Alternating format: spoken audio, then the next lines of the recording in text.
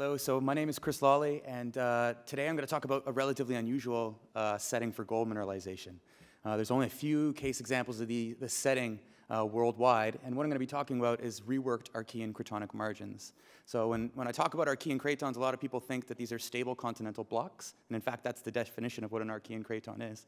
But what I'm going to argue today is that at the margins of those Archean cratons, you actually can rework them during younger orogenic events. And I'm going to argue that gold is related to that reworking. Sorry.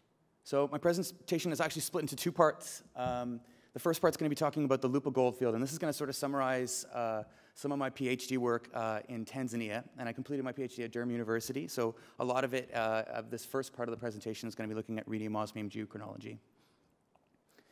So one of the first things that you have to come to grips with when you work in Tanzania is the enormous knowledge gaps. Um, this is a geological map of Tanzania. Uh, it hasn't really changed since 1959. Um, and so what um, you get uh, is this pink, big giant pink blob is the Tanzanian craton. And all of the yellow stuff are what is known as mobile belts. So these are, these are belts of deformed and metamorphosed rock. And so for the purpose of the presentation, we're going to be looking down here in this part of the yellow block uh, next to Lake Rukwa, um, and this is part of the Ubendian belt. And so prior to our study, everyone thought that all of these rocks were high grade, and everyone thought that all of these rocks were Proterozoic in age. And so the reason for that is because the countrywide aeromagnetic map showed that the southern boundary of the Tanzanian craton was marked by this magnetic high. And so presumably that that was the, the kind of the limit of these Archean rocks. Obviously, understanding, uh, understanding where this boundary is is really important if you want to trace uh, these, are, these are actually the major gold deposits in northern Tanzania that you probably are most familiar with. And so if you're interested in tracing these kind of well-endowed terrains into these younger metamorphic belts, you really want to understand where the limit of those metamorphic belts is. And so I kind of like this picture um, because it kind of sum summarizes a lot of the geological field relationships that I saw in the field when I was out there mapping. And so what it is, is, is basically it's a granitic gneiss um, and we saw a lot of these, and they're always, they were consistently cut by these non-foliated granitic intrusions. And so the composition of these non-foliated intrusions ranged from granodioritic to syenogranites. And then, of course, most importantly, uh, these non-foliated granites were actually cut by the, the gold-bearing shear zones. And so one of the first things we obviously wanted to do was, okay, well, what is the age of these so that we can start constraining this early style of deformation? And so these are uh, some laser ablation ICP-MS zircon ages that we got while collaborating with the British Geological Survey. And one of the really cool out, uh, outcomes of this for these three granitic samples is that they were all Archean in age. So they ranged from 2.7, and then this one particular sample uh, actually had inherited zircon cores at about 2.85. And so these were really the first uranium-lead zircon ages ever to, Archean ages ever to be reported for this part of Tanzania. So obviously we're really excited by these, and so we wanted to go one step further. So we went to those spot, same Archean aged spots, and then we reanalyzed them uh, with the laser system for their lutetium hafnium composition. And so if you're unfamiliar with these plots, on the x-axis is the uranium-lead zircon age, and on the y-axis is the hafnium composition of those same spots. And then I've got plotted here some reference lines, which are the mantle composition. And I think what the takeaway home from this is, is that all of, almost all of the granitic gneiss samples plot well below any of the expected mantle compositions and suggest that these granitic melts, yes, they're Archean, but they're actually melting even older rocks that aren't exposed or that we haven't dated yet. And so this was really, really exciting because it allowed us to propose that the Tanzanian craton was actually much larger uh, than previously thought. It's about 150 kilometers. It can be extended at least 150 kilometers to where we were studying down here. And the other thing it suggested was that the Ubendian belts actually is comprising reworked Archean crust, um, which was something that wasn't appreciated prior to this study. And so it's kind of become of interest now because what we're finding is that other people that are working north of where we were working are actually also getting these Archean ages. And so automatically we are changing the setting for these gold um, deposits that are located down here. And it's important because they also, these Archean rocks also host gold. And so in this picture, this is actually the largest colonial gold mine in the Lupa goldfield. Um, at that time, when this mine was operating, it was actually the second largest gold producer in Tanzania. So it was actually quite a significant mine at the time. And in the hanging wall of the deposit is a mylonitized Archean granitic gneiss. In the middle is a, a, big quartz vein that's in the middle of this shear zone. And in the footwall is a Proterozoic gabbroic dike. And so this sort of what this, and so what we had to start doing was, okay, so there's Archean rocks, but then what is the timing of gold? And so to do that, we had to kind of bring together other methods. And so here is, is uh, my geological map of the field area. So the scale is kind of hard to see, but it's about 30 kilometers across. And each of these black dots are some of the artisanal workings that I visited during my field area. The black lines are shear zones that we picked out from magnetic maps. Uh, the purple is the Archean granitic gneiss, and all these other colors are Proterozoic granites. And so what became very clear was that these artisanal workings, these illegal miners that are kind of have small scale mining operations, um, were kind of following um, these, these shear zones. And we can see these in a lot of their pits. So one of the consistent features that we kind of noticed was that uh, most of these pits were exploiting a mylonitic shear zone with a, with a quartz vein in the middle. And what they were really seemed to be concentrating their efforts on was actually the contact between the quartz vein and the shear zone. And that was something that we saw over and over again. So in this case, they've actually left most of the quartz vein, and then they've actually taken all this soft, gooey mylonitic shear zone. And I think part of that was because it's quite easy to, to, to, to mine, quite frankly.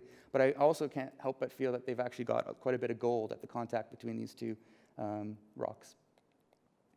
And what was really cool was that in lots of pits, we were able to actually go from non-foliated granite, progress into the shear zone, and so we were actually start to, we were actually really able to work out how these shear zones developed.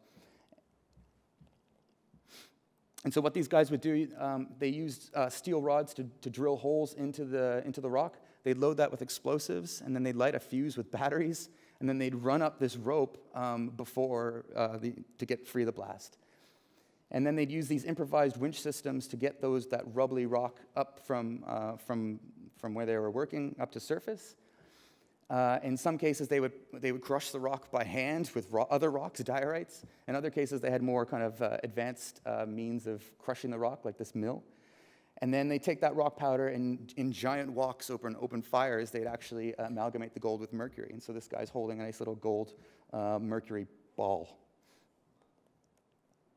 And what they were after with these rocks. So we'll just get back to the geology. So th th this is exactly the kind of material they were after. So here's the mylonitic shear zone, and here's the quartz vein. And automatically you can see how complicated these quartz veins are.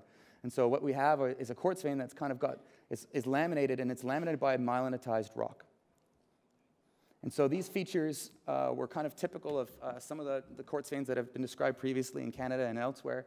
Um, Sigma mine's a good example for this. So you get these, at Sigma mine, you get these uh, steeply dipping shear zones. Within the shear zones, you get these, uh, what they call fault fill veins. And then you also get these flat dipping extension veins. And we saw all of these sorts of uh, vein features in the deposits that, or the artisanal workings that we were working with. And so my idea was, uh, I really wanted to unravel this kind of hydrothermal and deformation history. And so the idea was, well, why not we sample the mylonitic shear zone, we date the, the, shear zone, we date the, the vein that fills that shear zone, the fault fill vein, and then we date the extension veins. And so we tried to use these kind of gross diff different vein styles um, as a kind of records of instantaneous strain to reconstruct the hydrothermal and deformation history. And so this is one of these gold-bearing um, shear zones, um, and we can see that, the, that they're actually quite uh, pyrite rich. And so we became really, really interested uh, in the pyrite because we knew we could date it with rhenium osmium geochronology. Um, and so this is uh, one of these uh, shear zones in a CT scan. And so as it rotates, you're going to see that um, the green stuff is all the low density minerals like quartz and phyllosilicates like chlorite. Um, and then the pink stuff are the pyrite crystals. And then if you look really carefully, uh, you'll see little white uh, blobs, and those are the most dense minerals like gold and galena. And so I did this not just because it looked kind of cool, but because I was actually really interested in the, if we were going to date the pyrite, it became very clear to understand what the relationship was between pyrite and the, deforma- and the mylonitic fabric. And so here's a still image of that CT scan. And what we could see was the same uh, in three dimensions, though, was that the pyrite crystals, which are these red blobs, are enveloped by low density minerals like quartz, and there's strain fringes. And we could actually see these things in three dimensions. Not only that, we could see that the pyrite was actually following both the S fabric and the C fabric within the CS mylonites. And so what, what we took these relationships to suggest was that not only is the pyrite associated with gold in some way and could kind of constrain the timing of gold, but that the pyrite also constrained some of the mylonitic fabric development. The quartz veins were also interesting in themselves. They're very complex, as I mentioned before, and so one of the cool things that we tried to do that was a bit different from previous studies, most previous studies would take a rock like this, they'd grind it up, and they'd separate all the molybdenite out as one. Um, these are actually, sorry, oops, I should mention that these little stylolite veins are actually filled with molybdenite. But our approach was slightly different. I wanted to kind of try to tear these things apart. And so what I did was I sought out individual stylolites and I separated them and then I dated them individually with the hope that each stylolite would record a different increment of strain. I was wrong, but um, I'll show that in a couple slides.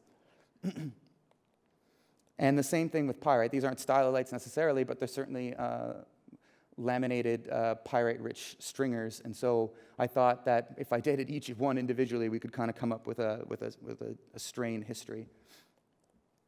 And then, of course, we also dated the extension veins, which uh, in this case at Porcupine are really, really clear. And they're all kind of these flat dipping veins that occur in a, in a steeply dipping panel of anastomosing shear zones. So a lot of my work, a, big portion of my PhD was actually in the lab, and so I spent a lot of time at Durham University uh, doing the rhenium osmium geochronology. And what I noticed in a lot of geochronology talks, people just kind of speak about an age. But for me, the age is actually every how you interpret the age is how you actually collect the age in the first place. And so I thought it'd be important just to kind of briefly discuss how we actually get these ages. And so I mentioned that I am separating out individual veins within a broader vein. And so what you need for rhenium osmium dating is actually about 300 milligrams of uh, sulfides. And the reason we need so much material is because these samples have very low rhenium.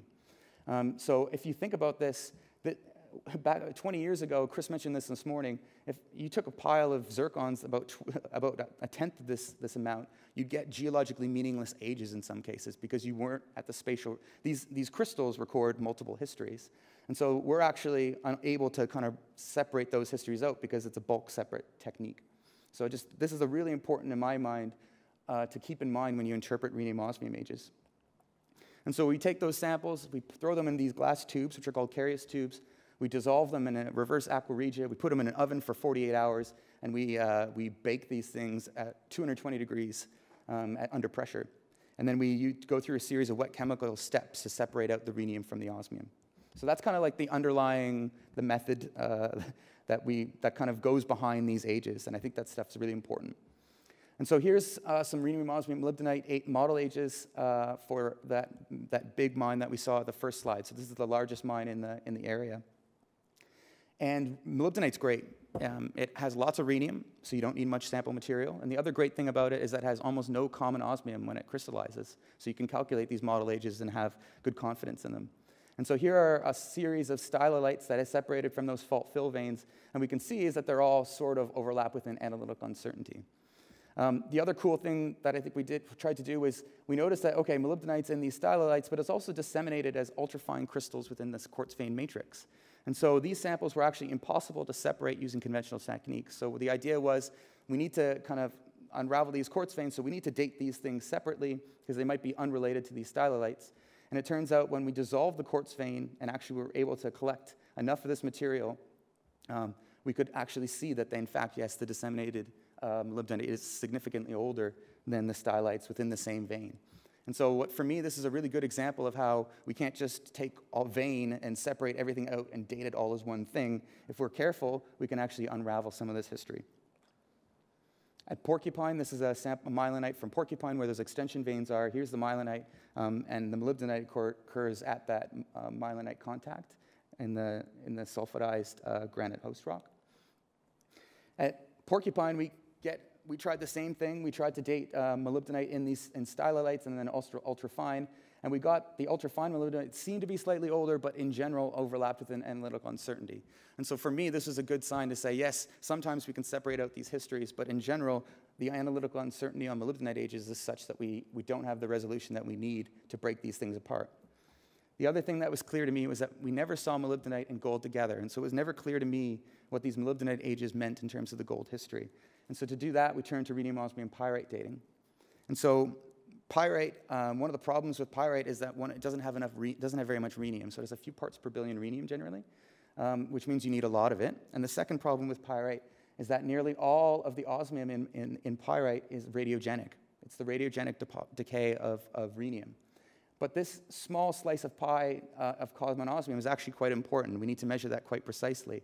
And at, the, at a few ppb rhenium, that means we've got a few ppt of total osmium, which means that this slice of pie is actually really, really small. It's so small that it overlaps with our analytical blank. And so what that means in real terms is that we can't measure it very well. And a consequence of that is that we get enormous analytical uncertainty ellipses. And these ellipses are actually correlated because we have, the problem is we've got common osmio in the denominator of both of these isochron axes. And so you get these horrendous analytical uncertainty ellipses that kind of string up and down the isochron. And so if you imagine what we're trying to do here is actually fit a line between these data points. But because the, uh, the uncertainty ellipses are stretched out, um, you can imagine that it's very difficult to fit a line with any degree of confidence. And so what we can do instead is actually reanalyze those with a different spike and treat them like molybdenite. So we kind of ignore the common osmium. And so that's what this plot shows. This is over 70 individual analyses, 70 model ages all in one plot. And so I'm going to just zoom in on uh, the Paleoproterozoic. and the purple are the pyrite ages, the yellow are the chalcopyrite, and the blue is the molybdenite. And there's quite a bit we could, and they're for each of the five deposits. Um, I dated five different uh, samples from five different deposits. And I just want to bring up two things. Um, one, at Kengi, so that's the big deposit that I showed you the first slide, we can see, again, there the disseminated pyrite is slightly older than the stylolites. Um, but critically, the mylonitic shear zone that hosts those fault fill veins are actually much younger at 1880. And if we look, some of the pyrite and chalcopyrite within those fault fill veins is the same age as the mylonite. And so what I think this is suggesting is that these systems have actually really, really long-lived histories, and they're really complicated. They go anywhere from 1950 to this kind of much younger event, uh, which appears to be the timing of mylonitization. The other major point that I want to point out is that um, there's a lot of slop. Um, if you go across, all of these are broadly equivalent, but if you looked at the geology of these veins, we know they're more complicated than that. And so what I think the rhenium osmium data is showing us is that the, the, the difficulties in actually getting these ages from these types of samples, these low rhenium samples, um, is, is sort of, we can't resolve some of the questions that we want to answer. And so we have to turn to other isotopic techniques. And so I took this picture um, uh, as we were driving through Tanzania, and I've never had a start of the dangerous zone, so I didn't want to give you the start of the dangerous zone. Um, and so uh, there's a few implications that I think that we can talk about with these ages. One, one of the things that strikes me is that, okay, so we've got these shear zones that have long-lived histories, but why do the shear zones seem to be reactivated than rather than making new shear zones? And so I think part of the answer is, in, uh, is, is, is recorded within the shear zones themselves. And so one of the things we started playing around with was, okay, we know that there's some really good work going on now that we, in um, actual experiments where we, we um, sorry, we deform mylonites monolites like this, and they're called phyllonites because they're coarse-grained and they're full of phyllosilicate minerals. It turns out that these rocks have really low frictional coefficients, and so it's actually really, really easy to deform them. And so when we plot, and when we do some modeling, um, what we see is that if we squeeze these things, it doesn't really matter what the orientation is. So that gray halo up there are all the orientations that would be reactivated for a shear zone like this and it suggests, so what we can say is that it doesn't really matter what the orientation of the shear zone is, it will be reactivated if you've got a weak shear zone like this. And so I think that the, the interplay between the, the rheology of these shear zones, the fluid pressure, and, uh, and the stress and the strain are key factors in explaining why these shear zones are continually reactivated over great lengths of time. So they're long-term, long-lived zones of weakness. The other thing we can say is that these um, these deposits that were in Tanzania are actually very different from the classic orogenic greenstone host deposits that kind of Groves talks about. At these deposits, um, they're hosted by accreted terrains, and generally the timing of gold mineralization is actually, it post-dates the host rocks, but only by maybe a few tens to hundreds of million years. Whereas in this case, the, the timing of gold actually post-dates the host rock by almost a billion years. So it's a very different um, very different environment for gold than, uh, say, these orogenic, classic orogenic gold deposits. And so I was really lucky when I was hired by the GSC. Um, basically, I got to move on to another area where we see the same relationship. And so basically with the PhD, we proposed that these, these gold deposits were hosted at a reworked Archean cratonic margin, and the other place in the world where we can see gold hosted at a reworked Archean cratonic margin is at Meliadine. So here's a map of the Western Churchill province, and just note the scale. This is absolutely uh, a, quite a large, large area, zoomed out photo. And what I've got plotted here are all the gold stars. So these are all the known gold occurrences in uh, the Western Churchill province. And what appears to me is that, first of all, these stars appear to be along aligned lines. And the second thing that I notice is that they're also associated with the green stuff, which is our greenstone belts. And so what's kind of cool about this is that the Archean, these greenstone belts are all Archean in age, but all of the available data for these deposits, so at Meadowbank, at Meliadine, and at Three Bluffs, suggests that, these, that the gold is actually Paleoproterozoic. So the gold story in the Western Churchill province is actually related to Paleoproterozoic reworking of an Archean uh, province. And so this is some previously reported uranium-lead hydrothermal monazite ages at Meliadine, and the monazite actually occurs in the same microtextural setting as gold in these deposits. And it's dated at about 1.85 GA. And so here is the Meliadine Gold District. Um, these, these squares with numbers in them are the actual known gold deposits. And so, and the red stuff is BIF. And so what we see is that a lot of the gold deposits occur along what's known as the Pyke Break. And then along the, not only do they occur along the Pyke Break, they're actually hosted by these uh, banded iron formations. And so these are what uh, the ore, ore, zones look like for uh, some of the deposits that I studied. And what I think, what the, one of the striking things for me is that these quartz veins, when the quartz veins cross-cut the BIF, we get these halos of arsenopyrite forming at the edges of those quartz veins. And these quartz veins are also deformed, um, they're folded. And the other thing that I like to point out was that sometimes the quartz veins are actually hard to see. They actually seem to be more like silica flooding that truncates the BIF banding rather than true, uh, nicely formed quartz veins. A big exception to that is at Tiriganiaq. So this is the main ore zone at Tiriganiaq, which is the largest deposit within the Meliadine Gold District. And we can see that it has, shares a lot of the features that I saw in Tanzania in the sense that it's got slivers of myelinized rock, um, and it's also associated with these flat dipping extension veins that are in turn folded within this overall shear zone. Gold at these deposits is really associated with the arsenopyrite, um, but it occurs at the margins of those arsenopyrite crystals and also fills fractures. The other common setting that we see for gold is that it occurs as clusters associated with recrystallized arsenopyrite. So in this case, arsenopyrite seems to be uh, recrystallized into magnetite, and it seems to have um, deposited quite a bit of uh, gold associated with that in, in clusters of inclusions. so one of the things that we wanted to try was we've got those monazite ages, but we wanted to kind of follow that up with samples that were, had better constraints uh, uh, with, these, with sulfide history. And so what we did was we dated xenotime from these samples that had clear uh, relationships with some of the sulfides. And one of the things I want to point out here is a xenotime crystal wrapping arsenopyrite. And so that's the same relationship that we saw with the monazite. Monazite and xenotime appear later uh, than the arsenopyrite, but it seemed to occur in the same place as the gold. And they also have the same age as the monazite, so 1.86, 1.85. Um, but for me, those ages aren't really constraining the entire hydrothermal history because they're occurring at the margin. They kind of appear much later than the arsenopyrite themselves. And so what I wanted to do was bracket the timing of gold by dating the arsenopyrite and then dating the later hydrothermal monazite and xenotime. But what I learned from my PhD is that these sulfides are complicated. And so uh, at the Geological Survey of Canada, we've got uh, Simon Jackson has sort of come up with these uh, trace element mapping techniques similar to the, the CODES technique um, except that we use a, a, basically a thousands of thousands of individual spots within a, in a grid pattern. And we can see fascinating patterns that kind of point to this complex post-crystallization history of these arsenopyrite crystals. Um, here's a, this example is particularly striking. Here we have an a giant arsenopyrite crystal. I could see that there are, there are other overgrowths of arsenopyrite.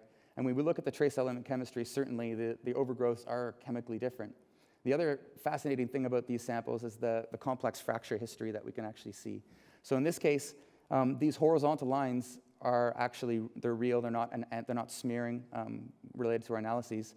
Um, these are, apparently are gold rich, and what's really interesting is that even after those gold rich fractures, we see lead and bismuth fractures that cross-cut that fracture history. So you can start to imagine that if we're going to start dissolving 300 milligrams of this stuff, we're going to really, we're looking at very different arsenopyrite generations.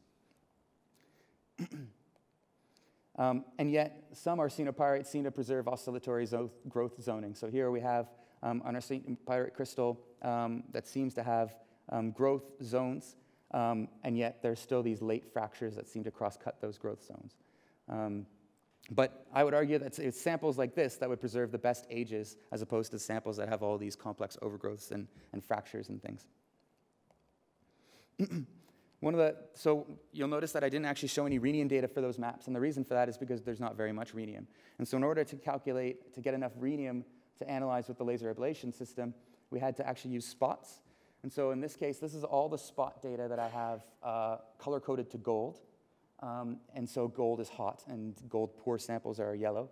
And so what this al allows you to do is quickly see what gold is associated with. So for instance, the, a lot of the orange lines are lead and silver rich. So apparently the gold rich samples are also rich in lead and silver. But I'm going to draw your attention to the far axis here where it says rhenium. And what you can see is that the yellow lines, the most rhenium uh, rich samples are actually the most gold poor. So the orange stuff is towards the bottom. I can't actually point to it there. And the, the actual gold uh, poor samples are actually um, are rhenium poor. And so when we took those samples and we uh, dissolved them up, uh, we had the same problem where we could see these kind of long uh, analytical uncertainties related to the difficulties in, in, analyzing such low rhenium samples. So we turned to model ages. Um, and you'll see it's, a, it's sort of a similar story to what we saw in Tanzania. They're really complicated. Um, but what I think is important is to look at, if you can't just treat all of this data as one, and so what we've started to do uh, is to look at the analyses that seem to replicate really well. So we take a sample, and if we get the same answer every single time, we have more faith uh, in that age. And so if you look up here, um, we can see that there's about six replicate analyses of sample CL131. Um, and so that gives us good, it sort of gives us an indication that this sample hasn't really seen some of the uh, disturbing effects that these other samples that are not, not replicable, and not repeatable, uh, so what we seem to be seeing is that uh, there are, there's an arsenopyrite crystallization event at 2.3 GA, and then there are this variable resetting or, or new arsenopyrite growth towards 1.85, which is the age of the xenotime. And so in our model, what we're suggesting is that these arsenopyrite crystals are actually much older than the xenotime, and that the gold and the monazite were actually remobilized into these low strain microstructural sites at 1.85. and so what we've tried to do also is kind of look at these samples and use the laser ablation system again, but this time um, look at lead isotopes. Um, and so the benefit of using the laser ablation system is that we can target specific, uh, specific uh, textures. And so in this case, we have a pyrite crystal that seems to be, uh, has a pressure shadow filled with pyrrhotite. So that's a pyrite crystal with a pressure shadow pyrrhotite. And what we get when we analyze both um, textures is a model, uh, galena model ages ranging from 2.5 to 1.85. And so how we're interpreting these ages is basically these older model ages are related to the Archean host rocks, and that we get this spread towards 1.8.5 related to the composition of the hydrothermal fluid at 1.885 GA. And so what we think these samples are recording are variable reworking. And so this is of interest because if you're looking in this area, what you want, if you're interested in gold deposits, are these uh, younger uh, model ages. So if you were going around sampling pyrite, you would, if you got the 2.5, 2.7 pyrite, that probably would tell you that it didn't interact with these younger fluids.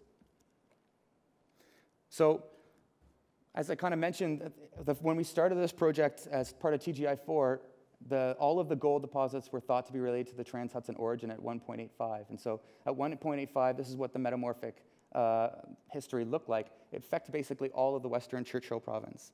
But with these new 2.3 ages, we think we can look through this metamorphic overprint and actually go um, and see uh, what the metamorphic, uh, what was happening at 2.3. Um, we could see that the, the snowbird orogeny, which is shown here as along this uh, one of these major shear zones cutting the western Churchill province. Meliadine, I can't really point to it. It's down, um, can't, uh, it's, it's actually the string of gold deposits just south. It's actually not, met, it doesn't appear to be metamorphosed at 2.3, but the ages that we've got seem to suggest that there is a 2.3 GA history there.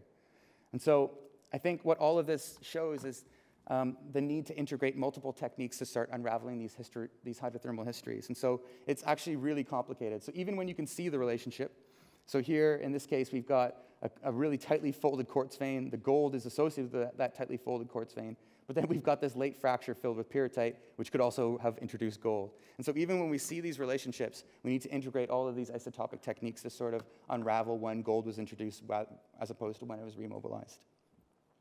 And I think I'll just leave it there. Thank you very much.